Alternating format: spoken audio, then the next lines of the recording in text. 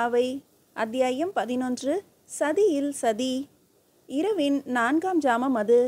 சாந்தி தேவனின் சயன கிரகம் போல விளங்கிய அந்த குருகுலத்தின் ஒவ்வொரு பகுதியையும் சுற்றி பார்த்தவாறு மெல்ல வந்து கொண்டிருந்த கவிஞர் பெருந்தேவனார் தம் ஆசிரம குடிலின் எதிரே இருந்த சிறியதொரு நந்தவனத்து பக்கம் திரும்பி நடக்க முற்பட்டவர் ஏனோ திடுக்குற்று நின்று சுற்றும் புற்றும் பார்த்தார். அவர் பார்த்த திசையில் ஒரு கரிய உருவம் மரஞ்செடி கொடிகளுக்கு இடையில் பதுங்கி பதுங்கி ஆசிரம குடிலின் பின்புறமாக சென்று கொண்டிருப்பது நில ஒளியில் லேசாக தெரிந்தது.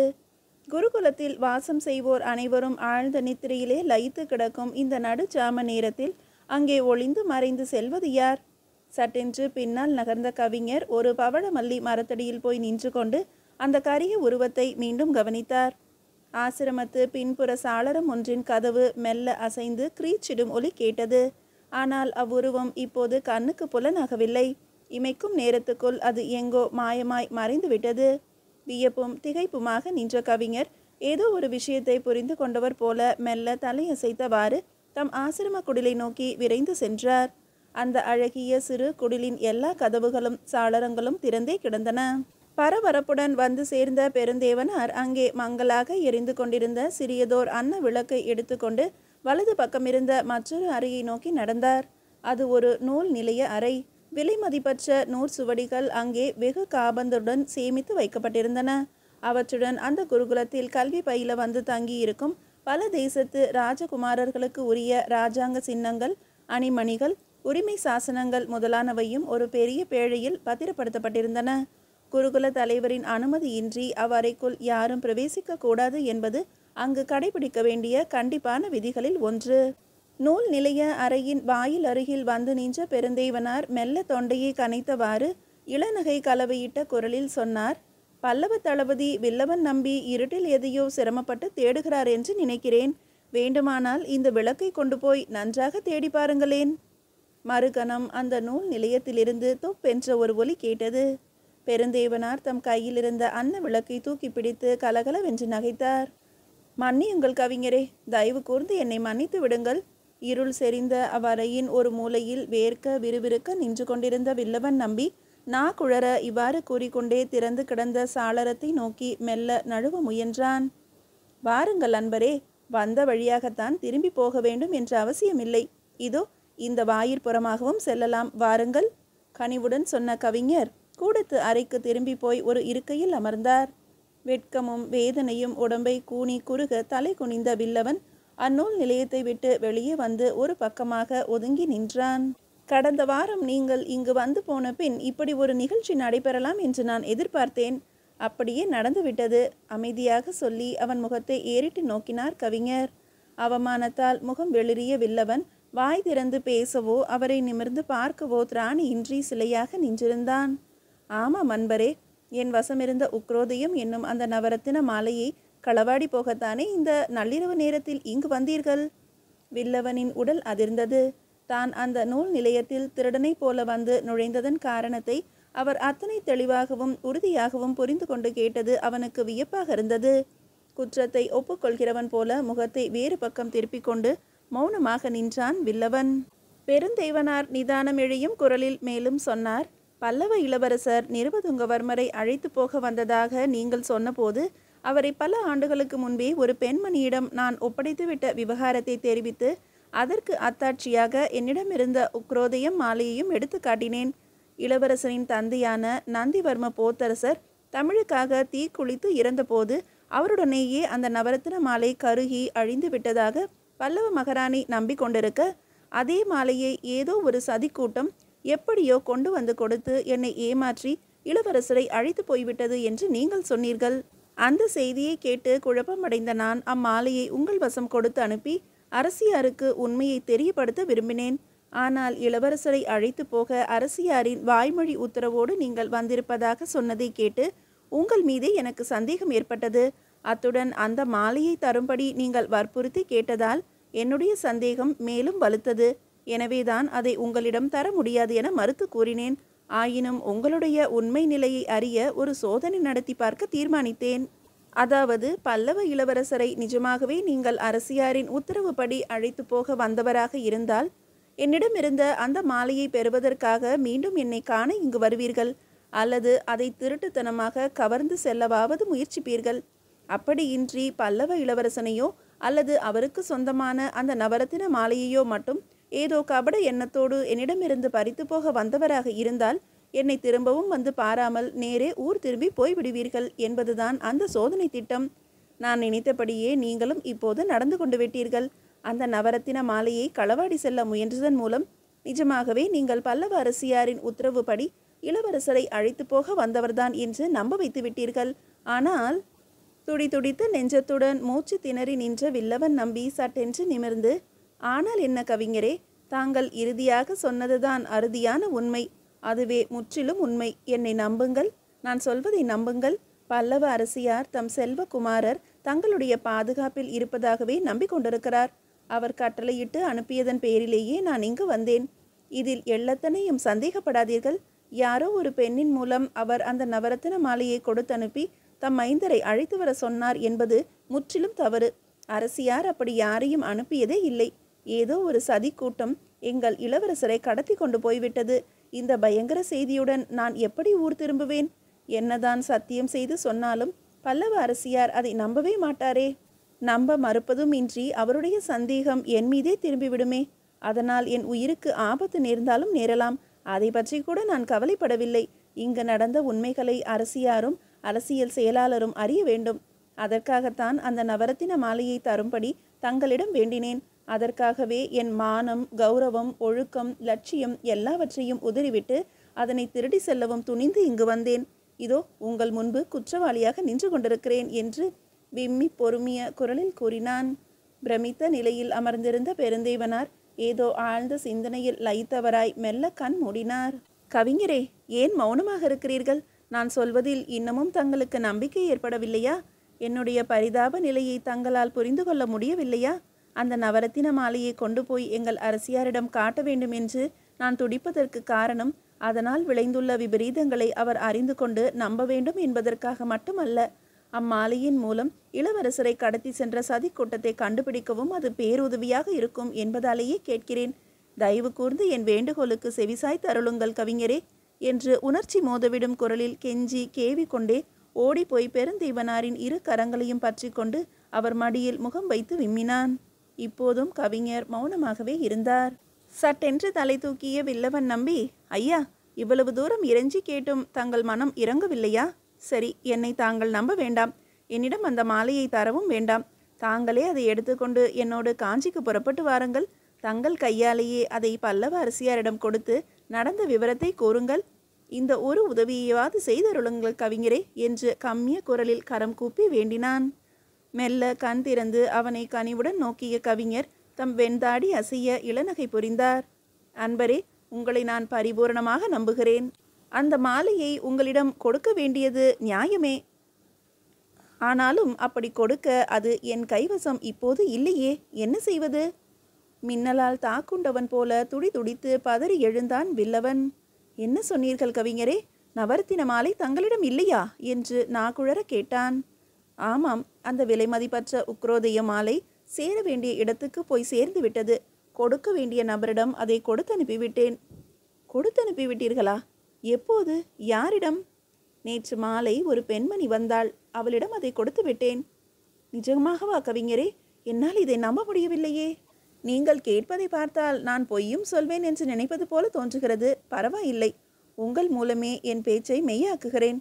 பல்லவருக்கு சொந்தமான அந்த நவரத்தின மாலையை நான் எங்கே எவ்விடத்தில் பாதுகாத்து வைத்திருந்தேன் என்ற விவரங்களை எப்படியோ அறிந்து கொண்டு அதை களவாடி செல்லும் நோக்கத்துடன் வந்து இவ்வளவு நேரம் அந்த அறையில் தேடினீர்களே அது உங்கள் கைக்கு கிடைத்ததா? அப்படி கிடைக்காததிலிருந்தே நீங்கள் தெரிந்து கொள்ளலாமே நான் சொல்வது மெய்தான் என்று. வில்லவன் உடல் கிடுகிடுவென நடுங்கியது. என்னிடம் கொடுக்க மறுத்த மாலையை அந்த பெண்மணியிடம் மட்டும் எவ்வாறு நம்பி கொடுத்தீர்கள் கவிஞரே? என்று உள்ளார்ந்த ஆத்திரத்துடன் வினவினான் அவன். நம்பத்தகுந்த ஆதாரத்துடன் வந்து கேட்டார்கள் கொடுத்தேன். அந்த மாலையை மட்டும்தான் அவள் பொறுப்பேற்று போக வந்தாளா? இல்லை உங்களைப் போலவே அவளும் பல்லவ இளவரசர் நிருபதுங்கவர்மரை அழைத்து போவதற்காக வந்தாள். உங்களிடம் சொன்ன விவரங்களையே அவளிடமும் சொன்னேன். உங்களைப் போலவே அவளும் அதை நம்ப மறுத்தாள். உடனே என் வசமிருந்த உக்ரோதிய மாலையை எடுத்து காட்டி அதை அவளிடமே கொடுத்தும் விட்டேன். அதைத்தான் கேட்கிறேன் கவிஞரே. அவளை மட்டும் நம்பி அந்த மாலையை ஏன் கொடுத்தீர்கள்? உங்களைப் போல பல்லவ அரசியாரின் உத்தரவை அவள் வாய்மொழியாக கொண்டு வரவில்லை. நந்தி லட்சணையிட்ட ஓலையின் வாயிலாகவே எடுத்து வந்து காட்டினாள். இடியால் தாக்குண்டவன் போல நடுங்கி பதறிய வில்லவன் என்ன நந்தி லட்சணையிட்ட ஓலையை காட்டினாளா?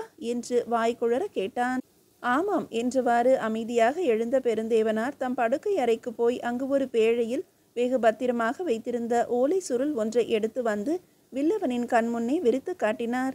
சந்தேகமில்லை. அது பல்லவ மகாராணி சங்கா தேவியால் வரையப்பட்ட ஓலைதான். வில்லவனிடம் கொடுக்கப்பட்ட அதே போன்ற ஓலை குழலாகவே அதுவும் விளங்கியது. இன்னும் சொல்லப்போனால் அவன் எடுத்து வந்த ஓலை குழல் போகவே அது தோன்றியது. திகைத்து திக்கு முக்காடிய வில்லவன் நம்பி கவிஞரே இந்த ஓலையை எடுத்து வந்த பெண்மணி யார் என்று தங்களுக்கு தெரியுமா? அவளை இதற்கு முன்பு பார்த்திருக்கிறீர்களா? என்று பதற்றத்துடன் கேட்டான். இவ்வினாவுக்கு மறுமொழி ஏதும் கூறாமல் மௌனமாக இருந்தார் பெருந்தேவனார். அதாவது பல ஆண்டுகளுக்கு முன்னால் பல்லவ இளவரசரை தங்களிடமிருந்து அழைத்து போன அதே பெண்மணிதான் இப்போதும் இந்த ஓலையை கொண்டு வந்தாளா என்று கேட்கிறேன் கவிஞரே என்றான் வில்லவன் பரபரப்பான குரலில்.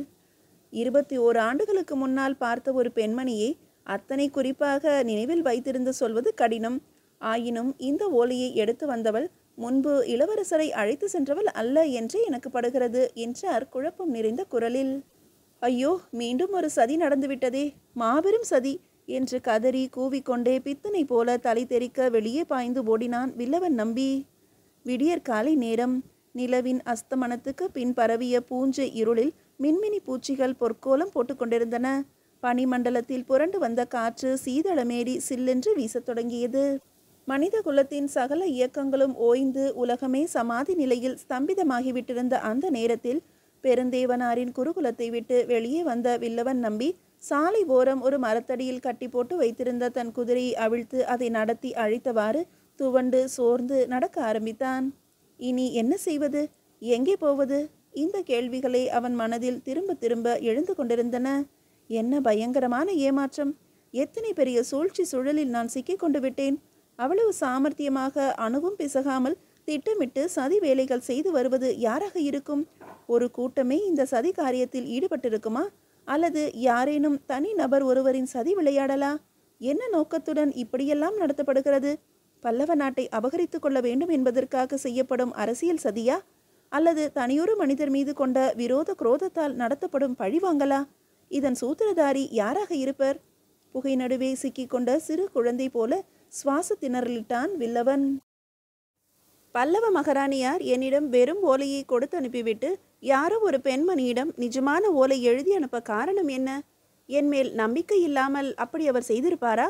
அல்லது பல்லவ இளவரசர் பத்திரமாக வந்து சேர வேண்டும் என்பதற்காக வாலிபடுகர் செய்த தந்திரமா? பல ஆண்டுகளுக்கு முன்பே இளவரசர் நிருபதுங்கரை இங்கிருந்து அழைத்து போய் வேறொரு இடத்தில் வைத்துக்கொண்டு இப்போது பெருந்தேவனாரிடமிருந்த உக்ரோதய மாலையை பெறுவதற்காக அவர்கள் அந்த பெண்மணியை அனுப்பியிருப்பார்களோ? அப்படியானால் அவள் பெருந்தீவனாரிடம் அந்த நவரத்தின மாலையை அல்லவா முதலில் கேட்டிருக்க வேண்டும்? அதை கேட்காமல் இளவரசரை அழைத்து போக வந்ததாக சொன்னாலாமே அதற்கு அத்தாட்சியாக ராணியாரின் ஓலையையும் கொண்டு வந்து கொடுத்திருக்கிறாளே. இளவரசர் இங்கு இல்லை என்று தெரிந்த பிறகுதானே அவள் அந்த மாலையை வாங்கி போயிருக்கிறாள். இது எல்லாம் எண்ணி பார்க்கும்போது பெருந்தேவனாரின் குருகுலத்தில் இளவரசர் இல்லை என்ற விஷயம் மகாராணியாருக்கே தெரியாது என்றல்லவா ஆகிறது? உண்மையில் மகாராணியார்தான் அந்த பெண்மணியிடம் ஓலை கொடுத்து அனுப்பினாரா? அல்லது யாரோ ஒரு சதிகாரி தானே போலியாக தயாரித்த ஓலையை காட்டி பெருந்தேவனாரை ஏமாற்றி அந்த விலை மதிப்பற்ற நவரத்தின மாலையை அபகரித்து கொண்டு போய்விட்டாளா? இவ்வளவு பெரிய சதிகாரியம் செய்ய துணிந்த அந்த பெண்மணி யாராக இருப்பாள்? இல்லை இல்லை. அவ்வோலையை என் கண்ணாலேயே பார்த்தேன். அது பொய் ஓலை இல்லை. அரசி சங்கா தேவியாரின் கை சாத்தும் பல்லவ அரசாங்கத்தின் நந்தி லட்சணையும் அதில் சந்தேகத்துக்கு இடமின்றி தெளிவாக பதிக்கப்பட்டிருந்தனவே. இன்னும் சொல்லப்போனால் என்னிடம் இருந்த ஓலையைப் போலவே அதுவும் இருந்தது. ஒரு கால் அவ்வோலை நான் எடுத்து வந்தது தானோ? எனக்கு தெரியாமலே என்னிடமிருந்து அதை யாரேனும் களவாடி கொண்டு அதற்கு பதிலாக அதே போன்ற வெறும் ஓலை குழலை மாற்றி வைத்து விட்டிருப்பார்களோ? அவ்வளவு பெரிய துணிச்சலான காரியம் நடக்கிற வரை நான் என்ன செய்து கொண்டிருந்தேன்? எந்த இடத்திலும் அத்தனை அஜாக்கிரதையாக இருக்கவில்லையே.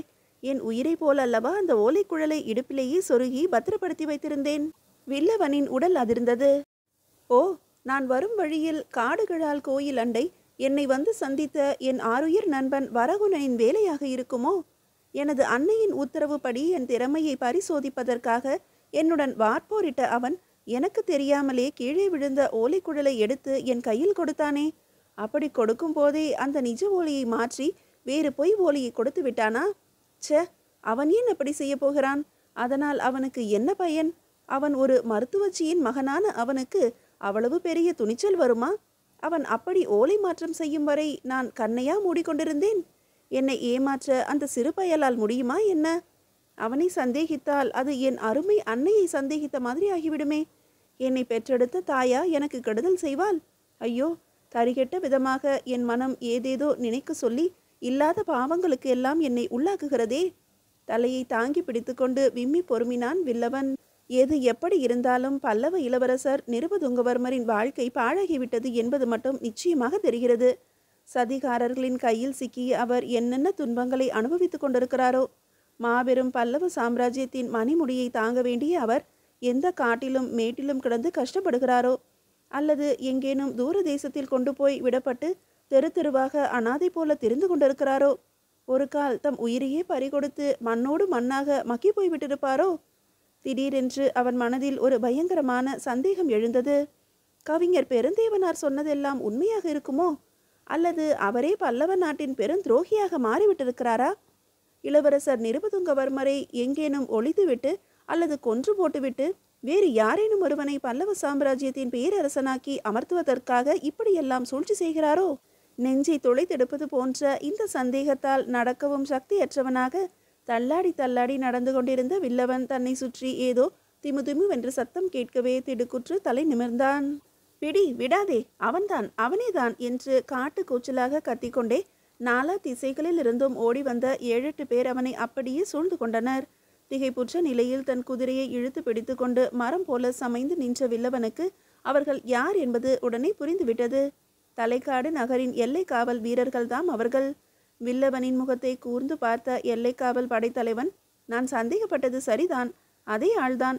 அன்றொரு நாள் பெட்ரோலை காட்டி நம்மை ஏமாற்றிவிட்டு நகருக்குள் செல்ல முயன்ற அதே ஆசாமிதான். இவனை பார்த்தால் ஏதோ அரசியல் சதி நடத்த வந்த அந்நிய தேசத்தவனாகவே தோன்றுகிறது. இல்லையானால் எவ்வித முகாந்திரமும் காட்டாமல் கள்ளத்தனமாக நகருக்குள் பிரவேசித்து இந்த இரவு வேளையில் இப்படி பேயாக அலைந்து கொண்டிருப்பானா?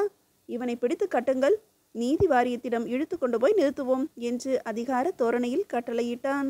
வில்லவனால் ஒன்றுமே பேச முடியவில்லை. அந்த மூர்க்க காவல் வீரர்கள் அவனை கயிறுகளால் பிணைத்து கட்டி முரட்டுத்தனமாக இழுத்து சென்றனர்.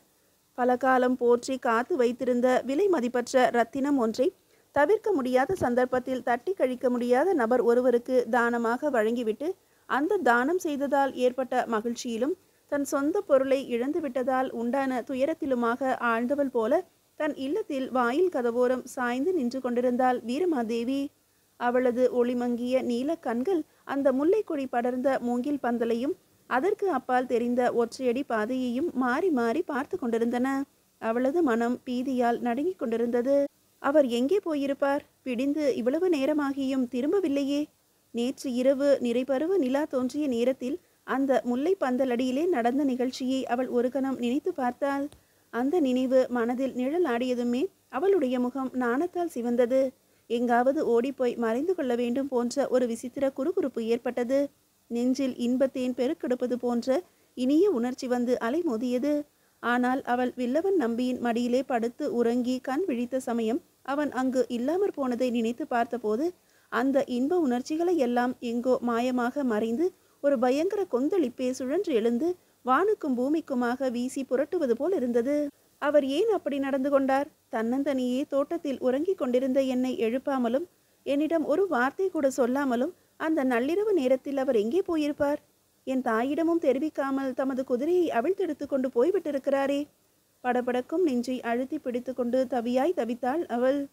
இல்லை அவர் எங்கேயும் போயிருக்க மாட்டார். மனதில் பிரவகித்த உற்சாகத்தால் மலைச்சாரல் பக்கம் குதிரை சவாரி செய்துவிட்டு வரப்போயிருப்பார். அல்லது குருகுல தலைவரை சந்திக்க போயிருந்தாலும் போயிருக்கலாம். இன்னும் கொஞ்ச நேரத்தில் திரும்பி வந்துவிடுவார். அப்படி வராவிட்டால் நானாவது குருகுலத்துக்கு போய் பார்க்க வேண்டும். அவர் என்னை ஏமாற்ற மாட்டார். அவர் ஏமாற்றுவார் என்று என் மனத்தாலும் நினைப்பதே குற்றம். சிறிதே தெளிவு பெற்றவளாய் உள்ளே சென்று வீட்டு காரியங்கள் சிலவற்றை முடித்துக்கொண்டு திரும்பவும் வாசலுக்கு வந்தால் வீரமாதேவி. தென்னந்தோப்புக்கு மேலே சூரியன் ஏறிவிட்டது. இன்னமும் அவர் வர காணோமே அவள் மனம் மீண்டும் பரிதவித்து பயம் கொள்ள ஆரம்பித்தது. ஐயோ முன்பின் யோசிக்காமல் உணர்ச்சி வயப்பட்டு என்னை நானே அழித்து கொண்டு விட்டேனா? என்னிடமிருந்த விலைமதிப்பற்ற பொருளை கனப்பொழுதில் ஏமாந்து பறிகொடுத்து விட்டேனா? நான் ஏமாற்றப்பட்டு விட்டேனா? துடி துடிக்கும் நெஞ்சை அழுத்தி பிடித்து கொண்டு விம்மி பொறுமினாள் சிற்றுண்டி விற்று வரப்போன தன் தாய் இன்னமும் திரும்பி வராத கவலை வேறு கப்பிக்கொண்டது வினாடிக்கு வினாடி பயமும் கிளேசமும் பெருகி வளர்ந்து அவளை உலுக்கி எடுத்தன. என்ன செய்வது என்றே தோன்றாமல் உள்ளுக்கும் வெளிக்குமாக அலைமோதி கொண்டிருந்த அவள் ஏதோ ஒரு முடிவுக்கு வந்தவளாய் தன் அறையை நோக்கி விரைந்து செல்ல திரும்பினாள். குழந்தாய் தாகத்துக்கு கொஞ்சம் தண்ணீர் கொடுக்க முடியுமா? சட்டென்று நின்ற வீரமாதேவி வாசல் பக்கம் பார்வையை ஓட்டினாள். அங்கே களைப்பும் சோர்வுமாக வாடி வதங்கிய கண்கள் பஞ்சடைக்க நின்று கொண்டிருந்தாள் ஒரு முதியவள். அவள் வேறு யாரும் அல்ல. வில்லவன் நம்பியின் அன்னையான மாரம்பாவைதான். வாடி துவண்ட நிலையிலும் அந்த மூதாட்டியின் முகத்தில் நிலவிய ஒரு அற்புத வசீகரத்தால் கவரப்பட்டு அவளையே இமைக்காமல் பார்த்து கொண்டிருந்த வீரமாதேவி அவசரமாக உள்ளே ஓடிப்போய் ஒரு வெள்ளிக்களம் நிறைய நீர்மோர் எடுத்து வந்து கொடுத்தாள். மோரை பருகி விடாய் தீர்ந்த மாரம்பாவை புன்னகை புரிந்தவளாய் நிமிர்ந்து தன் எதிரே நின்ற வீரமாதேவியை அன்பு கனிய பார்த்து எல்லா நலன்களும் குறையற பெற்று பெருவாழ்வு வாழ்வாயாக மகளே என்று மனம் குளிர்ந்து வாழ்த்தினாள். மனதில் குவிந்திருந்த பல்வேறு துயரங்கள் சிறிதளவு மறைந்தார் போலிருக்கவே ஓரடி முன்னால் வந்து நீங்கள் யாரம்மா? எந்த நாட்டிலிருந்து வருகிறீர்கள்? என்று மெல்லிய குரலில் வினவினாள் வீரமாதேவி நானா மகளே என்று தயங்கியபடி இழுத்த மாரம்பாவை ஓங்கி பெருமூச்சு விட்டபடி பல்லவ நாட்டின் தலைநகரிலிருந்து வருகிறேன் குழந்தாய் என்றாள். காஞ்சியிலிருந்தா வருகிறீர்கள்? இங்கே யாரை பார்க்க வேண்டும் இந்த கேள்விக்கு பதில் சொல்ல மீண்டும் தயக்கம் காட்டிய மாரம்பாவை ஒரு கன யோசனைக்கு பின் வருத்தம் தோய்ந்த குரலில் என் மகனை பார்க்க வந்தேன் குழந்தாய் என்றாள். உங்கள் மைந்தருக்கு இந்த ஊரில் என்ன அலுவல் அம்மா அலுவல் ஒன்றுமில்லை. அவன் இந்த நாட்டுக்கு புதியவன்தான். அதாவது சமீபத்தில் இந்நகரில் வந்து குடியேறியிருக்கிறார் என்கிறீர்களா? அப்படி அல்ல குழந்தாய். இவ்வூரில் உள்ள பெரிய மனிதர் ஒருவரை அவன் பார்க்க வந்தான். யாரம்மா அந்த பெரிய மனிதர்? இங்கே ஒரு குருகுலம் இருக்கிறதே நீ கேள்விப்பட்டிருக்கிறாயா? தெரியும் அம்மா என்று புன்முறுவலுடன் சொன்னால் வீரமாதேவி அதன் தலைவரை பற்றி கவிஞர் பெருந்தேவனார் தானே? கேள்விப்பட்டிருக்கிறேன் தாயே. அவரைத்தான் என் மகன் காண வந்திருக்கிறான் குழந்தாய். விற்புருவங்கள் நெளித்து கொண்டு ஒரு கணம் யோசித்த வீரமாதேவி உங்கள் மைந்தரின் பெயர் வில்லவன் நம்பியா அம்மா? என்று வெடுக்கென கேட்டாள். திடுக்குற்று தலை தூக்கிய மாரம்பாவை அவளை திருதிருவென விழித்து நோக்கினாள். வீரமாதேவியின் முகம் வெளுத்தது. மன்னியுங்கள் அம்மா ஏதோ நினைப்பில் என்னமோ ஒரு பெயரை சொல்லிவிட்டேன் என்று குழறினாள். சற்று நேரம் மௌனமாக இருந்த மாரம்பாவை மெல்ல தலை நிமிர்ந்து ஏன் குழந்தாய் வில்லவன் நம்பி என்று சொன்னாயே அது யாருடைய பெயர்? உனக்கு அவர் உறவினரா? என்று கரகரத்த குரலில் கேட்டாள். அப்படியெல்லாம் இல்லை அம்மா. அந்த பெயருக்கு உரியவர் ஒரு ஓவியர். காஞ்சியிலிருந்து இங்கே வந்திருக்கிறார். குருகுல தலைவர் பெருந்தேவனாரை பார்க்கத்தான் அவரும் வந்ததாக என்னிடம் சொன்னார். அதனால்தான் அவர் உங்கள் மைந்தராக இருப்பாரோ என்று எண்ணி அப்படி கேட்டுவிட்டேன். தவறாக நினைக்காதீர்கள் அம்மா. மாரம்பாவையின் முகத்தில் மகிழ்ச்சியும் துயரமும் மாறி மாறி பூத்து காய்த்தன. நீ சொல்லும் அந்த ஓவியர் இப்போது எங்கே தங்கியிருக்கிறார் குழந்தாய்? என்று ஆவலுடன் வினவினாள். ஒரு வினாடி தயக்கத்துக்கு பின் இங்கேதான் அம்மா எங்கள் குடிலில்தான் அவர் தங்கியிருக்கிறார் என்று தன் பட்டு கன்னங்களில் குங்குமத்தை இழைக்க இனிய குரலில் கூறி தலை குனிந்தாள் வீரமாதேவி. ஏதோ ஒன்றை புரிந்து கொண்டவள் போல மெல்ல தலையசைத்த மாரம்பாவை உள்ளே அவர் இருக்கிறார் போலும் அதனால்தான் நீ வாசற்கதவை கட்டிக்கொண்டு வெளியிலேயே நிற்கிறாயாக்கும் என்றால் குறும்பாக கழுத்தை நொடித்து. வீரமாதேவியின் கண்களில் கண்ணீர் திரண்டது. இல்லை அம்மா அவர் இப்போது இங்கு இல்லை. வெளியே போயிருக்கிறார் என்று ஆத்திரமும் துக்கமும் அடைத்த குரலில் முணுமுணுத்தாள். இந்த சமயம் தன் சகாக்கள் இருவருடன் அங்கே சிற்றுண்டி வாங்கி உண்பதற்காக வந்தான் எல்லை காவல் படையின் தலைவனான சொக்கநாதன். என்ன பெண்ணே அப்பம் பிட்டு அதிரசம் ஏதாவது இருக்குமா? என்று அதிகார தொனியில் அதட்டி கேட்டான் அவன். விடியற்காலமே என் அம்மா உங்கள் சாவடிக்கு சிற்றுண்டி கூடையுடன் வந்தாளே. நீங்கள் பார்க்கவில்லையா? என்று வீரமாதேவியும் மிடுக்காக திருப்பி கேட்டாள். உன் தாயாரை பார்க்காததால் தான் நாங்கள் இங்கே வந்திருக்கிறோம். ஐயோ பாவமே விற்பதற்கென்று எந்த பண்டத்தையும் என் அம்மா மீதப்படுத்தி வைத்துவிட்டு போகவில்லையே. அப்படியானால் இன்றைக்கு நாங்கள் பட்டினி கிடக்க வேண்டியதுதானா? என்று கண்களை உருட்டி கேட்ட காவல் படை தலைவன் படுபாவி பயல் அவனால் இன்று நம்முடைய வயிறு காய்ந்து விடும் போல் இருக்கிறது என்று சலித்து கொண்டான். என்ன ஐயா யாரை இப்படி சபிக்கிறீர்கள்? என்று திகிலுடன் வினவினாள் வீரமாதேவி அந்த வயிற்றெரிச்சலை ஏன் கேட்கிறாய்? போ பெண்ணே. இன்று விடியற்காலை கருக்கல் நேரத்தில் நமது குருகுலத்து சாலையோரம் வேற்று தேச ஒற்றன் ஒருவனை துரத்தி பிடித்தோம். ஏற்கனவே ஒரு முறை அவன் எங்களை ஏமாற்றிவிட்டு நகருக்குள் செல்ல முயன்றபோது விஷயம் தெரியாமல் விரட்டிவிட்டோம் இன்று மீண்டும் எங்கள் உத்தரவின்றி நகருக்குள் பிரவேசித்ததால் அவனை சந்தேகித்து பிடித்து கொண்டு போய் நீதி வாரியத்தின் முன்பு நிறுத்தினோம். விசாரணை நடந்தது நடந்தது. அவ்வளவு நேரம் நடந்தது. என்னதான் விசாரித்தும் அவன் வாய் திறந்து ஒன்றுமே சொல்லவில்லை. கை தேர்ந்த சதிகாரர்களின் உளவாளியாக இருப்பான் போல இருக்கிறது. அனுமதியின்றி நகரில் பிரவேசித்த குற்றத்தை மட்டுமே ஒப்புக்கொண்டான். ஆறு வருட சிறை தண்டனை விதிக்கப்பட்டது. வெறுப்பும் சலிப்புமாக இவ்வாறு கூறிக்கொண்டே தன் சகாக்களுடன் அங்கிருந்து புறப்பட்டு போய்விட்டான் காவல் படைத்தலைவன் தலைவன். வீரமாதேவிக்கே தெரியவில்லை. தான் எப்போது மூர்ச்சித்து விழுந்தோம் என்று தன் தாயின் அணைப்பிலிருந்து மெல்ல எழுந்து உட்கார்ந்த அவள் மிரட்சியுடன் அங்கும் இங்குமாக பார்த்தாள். ஏனம்மா அது உண்மைதானா? நம் இல்லத்தில் தங்கியிருந்த அந்த ஓவியருக்கு ஆறு வருட சிறை தண்டனையா விதிக்கப்பட்டு விட்டது? என்று நெஞ்சு அடைக்க கேட்டாள்.